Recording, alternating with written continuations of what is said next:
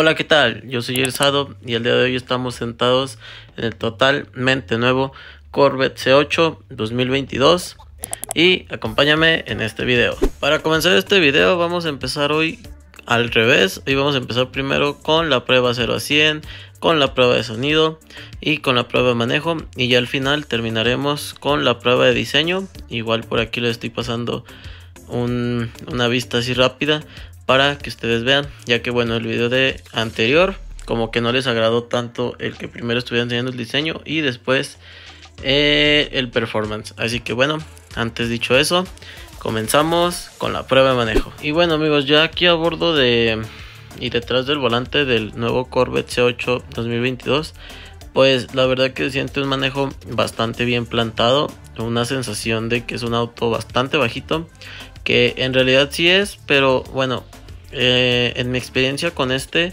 siento que es un coche que no batalla tanto en los topes ni en nada de eso. Entonces siento que es un coche que se puede maniobrar bastante bien en ciudad.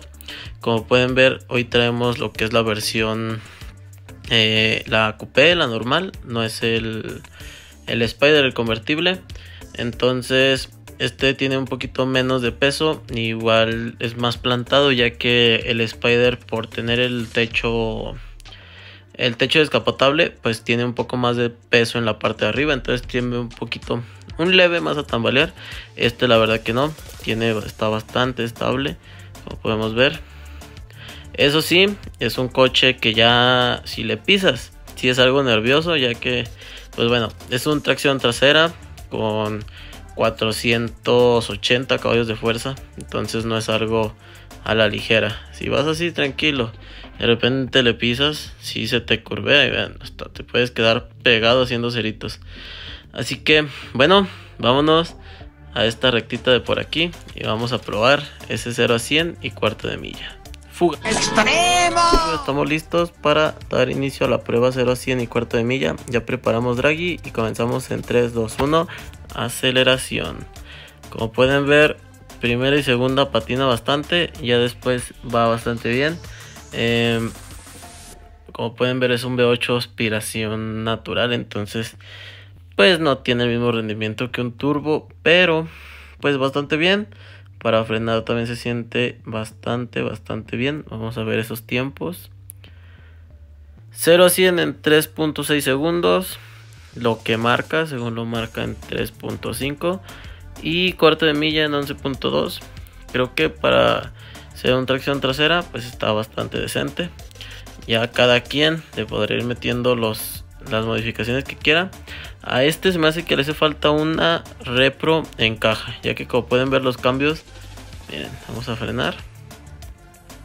Como pueden ver, aceleramos y como que los cambios tarda, si ven? Como que baja mucho, o sea, no es como que pum, inmediato el cambio.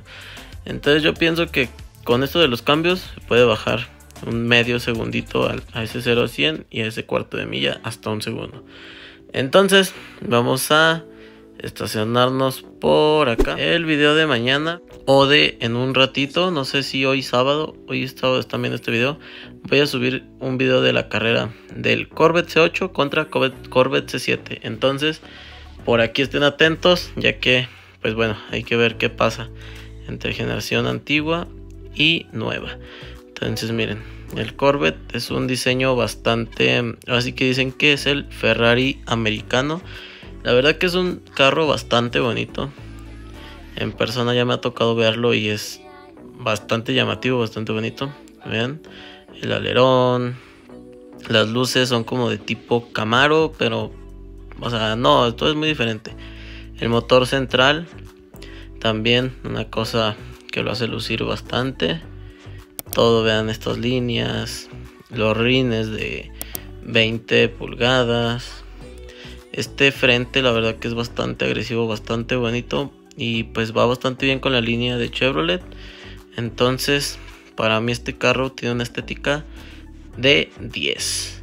Bastante bonito. Déjenme en los comentarios qué opinan ustedes. Y ahora vámonos con el interior.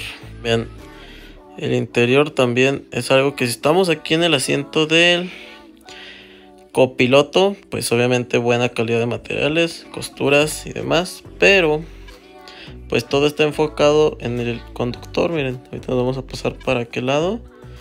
Aquí como se puede ver, por ahí atrás tenemos el motor. Veanlo. Bastante fregón ese detallito, ¿eh? Aquí el motor. Y pues por acá tenemos lo que viene siendo todo esta botonería del aire acondicionado y demás.